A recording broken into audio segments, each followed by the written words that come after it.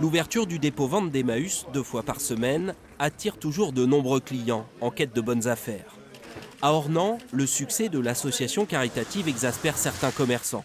Ce magasin de chaussures est aujourd'hui en difficulté. J'ai investi tout mon argent dans cette boutique et euh, là, euh, je me dégage toujours pas de salaire. Je viens de faire une demande de RSA, faut quand même le savoir. Euh, les commerçants, on a beaucoup de difficultés. Et donc cette histoire d'Emmaüs nous impacte encore plus. Nous, on paye la TVA, on paye la CFE, on paye tout. on paye un loyer, eux, ils ont des aides et ils ont de la marchandise gratuite. Ce mécontentement est relayé par une association de commerçants d'Ornans. Comment ça va?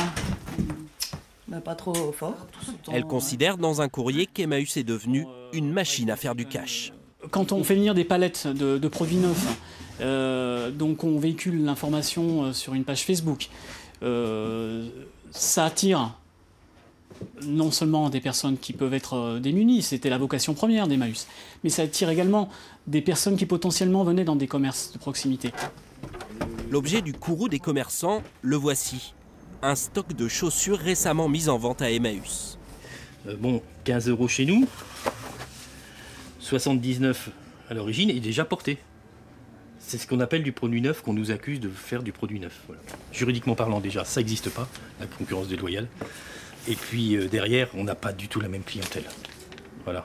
C'est pas du tout. C'est des gens qui sont contents d'avoir des produits pas chers parce qu'ils n'ont pas les moyens de les acheter dans des commerces locaux.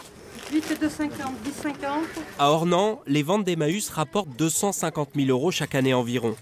Plus de 100 000 euros financent des opérations de solidarité locale au profit de l'hôpital, des pompiers ou de la maison de retraite.